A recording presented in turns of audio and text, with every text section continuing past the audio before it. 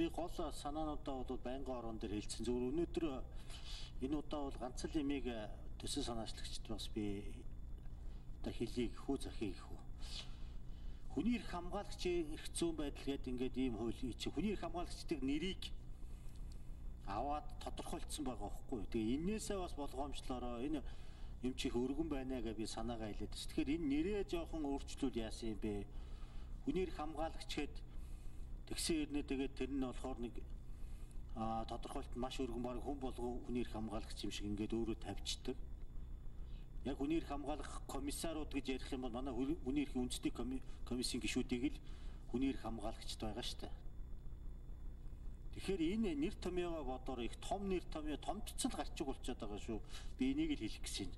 Тэгээд санааг нь юу үзэл баримтлалын хувьд ингээд дэмжээ явж болж байна. Тэр цогтбаатар гишүүний хэлээд байгаа нөхөн гүйцэх туслан дэмжих тэр орон зай дээр ажиллая гэж одоо хэлж байгаа зохицуултыг нь бол одоо бас одоо ажилд үнэхээр хэрэгтэй гэдэг байгаа бол дэмжихэд бол болохгүй юм гэж бодож. Гол нь тав хүн маань энэ хуулийнхаа тэр агуулгыг харах юм бол тэр гарчигчин бол арай л том байгаад байгаа шүү л гэж хэлэх гэсэн. За баярлалаа.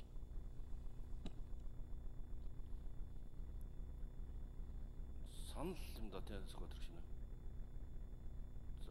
За одоо л хавгийн мөнх батар гэж.